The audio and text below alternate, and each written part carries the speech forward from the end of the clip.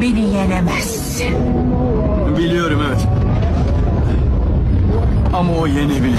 Nasıl yapacağız abla onu be?